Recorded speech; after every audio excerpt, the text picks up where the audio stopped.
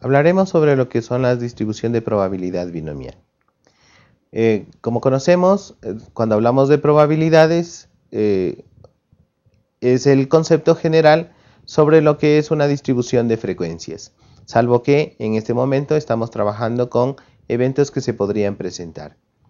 Y dentro de las distribuciones de frecuencias encontramos distribuciones de frecuencias de probabilidades discretas y continuas. En este caso, hablaremos sobre la distribución de probabilidad binomial por tratarse de una distribución de carácter discreto.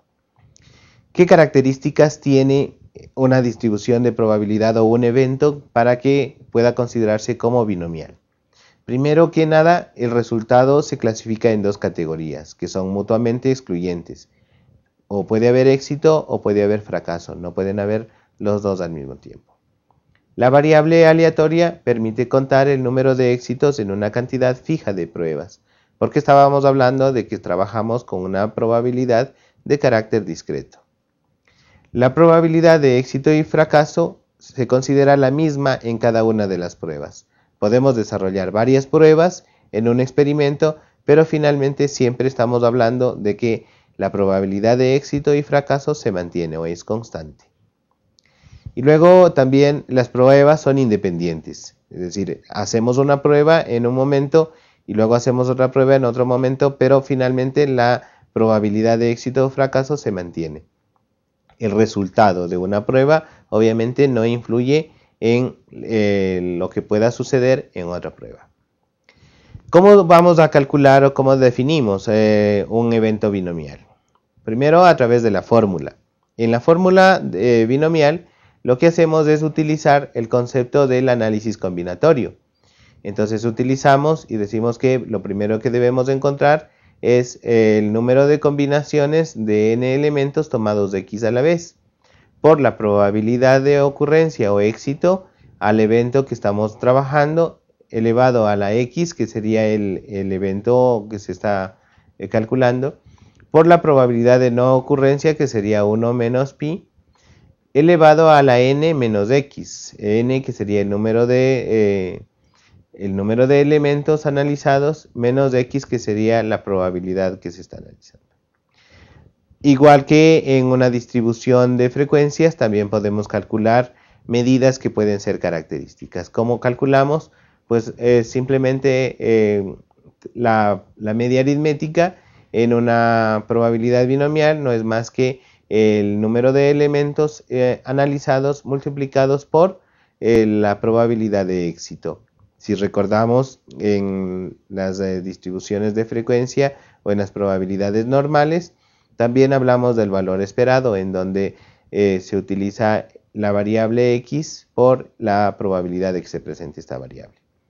Y en el caso de la varianza, la calculamos multiplicando el producto de el, eh, n por el número de elementos por la probabilidad de éxito y por la probabilidad de eh, fracaso.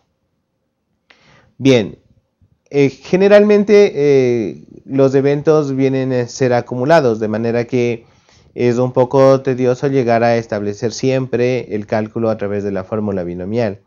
Para ello podemos utilizar una de las una tabla que ya viene construida en los textos, en donde en la tabla encontramos el número de elementos, n, en la cabecera, y luego también tenemos las probabilidades desde 0.05, eh, va sumando cada 0.5 hasta llegar al 0.95. Y luego tenemos una columna en donde está x, que sería la probabilidad que deseamos encontrar.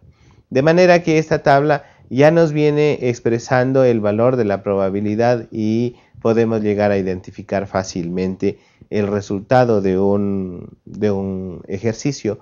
Por ejemplo, vamos a ver acá un ejercicio. Eh, dice, un servicio postal ha informado que 95% de la correspondencia de primera clase dentro de la misma ciudad se entrega en un periodo de dos días a partir del momento en que se envía se enviaron seis cartas de forma aleatoria a diferentes lugares. ¿Cuál es la probabilidad de que exactamente cinco lleguen en un plazo de dos días? ¿Qué datos tenemos acá? primero, el número de, eh, de lugares a los que se ha enviado, que sería n, es de 6 cartas. Luego la probabilidad de éxito nos dice que es del 95%, puesto que dice que el 95% llegan en un periodo de dos días.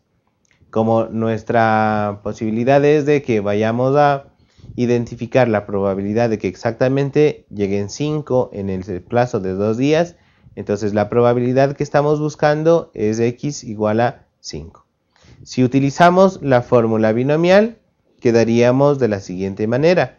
La probabilidad de que x sea igual a 5 será igual a 6 combinaciones, 6 que es el número total, 6 combinaciones tomado 5 a la vez por la probabilidad de éxito elevado a la quinta y por la probabilidad de fracaso elevado a la n menos x. Una vez que hacemos los cálculos y, y establecemos la fórmula correspondiente, vamos a llegar a determinar que la probabilidad de que x sea igual a 5 es igual a 0.232. De manera que, entonces, existe el 23.2% de probabilidades de que, eh, las, de que 5 cartas lleguen en un plazo de 2 días. Con esto hemos identificado lo que es la probabilidad binomial. Gracias.